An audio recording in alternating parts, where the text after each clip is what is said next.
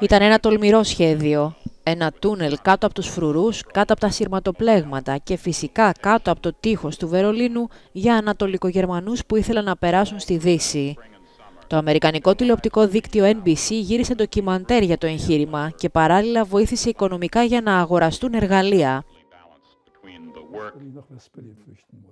Εκείνο το καλοκαίρι του 1962, ο Γιώακιμ Ρούντολφ, που και ο ίδιος είχε αποδράσει από το Ανατολικό Βερολίνο λίγους μήνες νωρίτερα, έκανε 8 ώρες βάρδιες καθημερινά, σκάβοντας κάτω από τη γη.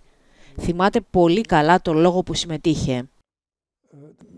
Äh, äh, Θέλαμε απλά να βοηθήσουμε κόσμο. Äh, Αλλά ήμασταν και εξοργισμένοι με τη λαοκρατική δημοκρατία της Γερμανίας και όσα έκανε. Πυροβολούσαν όσους προσπαθούσαν να διαφύγουν. Äh, Αυτό μας είχε σοκάρει και θέλαμε να κάνουμε ό,τι πέρναγε από το χέρι μας για να πλήξουμε την Ανατολική Γερμανία. Δεκάδες άνθρωποι εργάζονταν στο τούνελ. Οι περισσότεροι είχαν οικογένεια και φίλους στην άλλη πλευρά. Όμως η δουλειά ήταν πολύ πιο σκληρή από όσο περίμεναν. Δεν είχαμε ιδέα πώς να σκάψουμε τούνελ. Δεν ξέραμε τι εργαλεία χρειάζονται, ποια μέθοδος και ταυτόχρονα πώς να επιβιώσουμε. Και τελικά στις 14 Σεπτεμβρίου του 1962 οι εργάτες κατάφεραν να φτάσουν σε ένα υπόγειο. Ο Γιώακιμ Ρούντολφ πέρασε μέσα με ένα όπλο στην τσέπη για να ελέγξει αν ήταν στο σωστό σπίτι. Αφού σιγουρεύτηκε, περίμεναν. Και τελικά η πρώτη οικογένεια που ήθελε να δραπετεύσει χτύπησε την πόρτα του υπογείου.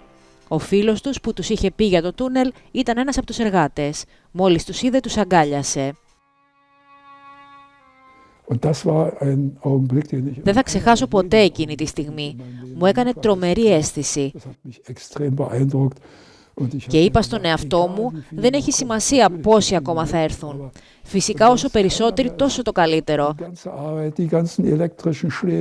Αλλά και κανείς άλλος να μην ερχόταν. Όλη η δουλειά, όλα τα ηλεκτροσόκ από τις πλημμύρες και τα καλώδια, όλες οι φουσκάλες, τα χτυπήματα στο κεφάλι πάνω στα ξύλινα δοκάρια του τούνελ, όλα πλέον άξιζαν.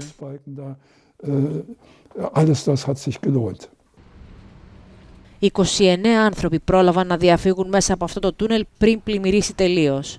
Τα επόμενα χρόνια ήταν πολλοί αυτοί που έσκαψαν τούνελ, κολύμπησαν ποτάμια, πέταξαν με αερόστατα και έκαναν οτιδήποτε άλλο μπορούσαν να σκεφτούν για να διαφύγουν από το καθεστώς της Ανατολικής Γερμανίας. Χιλιάδες προσπάθησαν να αποδράσουν στα 28 χρόνια που το τείχος χώριζε στα δύο την πόλη του Βερολίνου. Πολλοί τα κατάφεραν, όμως τουλάχιστον 140 πέθαναν στην προσπάθεια να περάσουν στη Δύση. Η μνήμη των θυμάτων θα τιμηθεί κατά τις εκδηλώσεις. Juna Kelgen aus Berlin für Euronews.